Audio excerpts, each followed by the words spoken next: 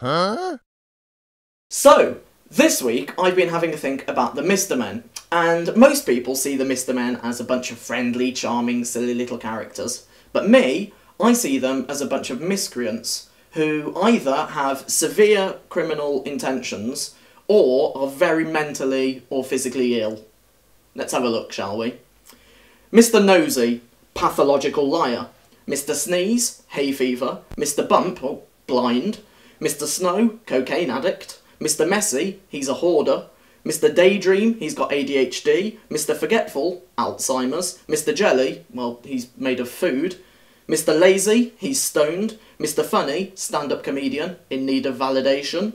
Mr. Mean, he's a sadist. Mr. Chatterbox, Tourette's. Mr. Fussy, Mr. Hitler, look at his moustache. Mr. Dizzy, Vertigo. Mr. Strong, he's Governor of California now. Mr. Grumpy, he's depressed. Mr. Quiet, he's a mute. Mr. Tall, addictive bungee jumper. Mr. Worry, paranoia. Mr. Wrong, he's an atheist. Mm. Mr. Skinny, anorexia. Mr. Mischief, criminal mastermind.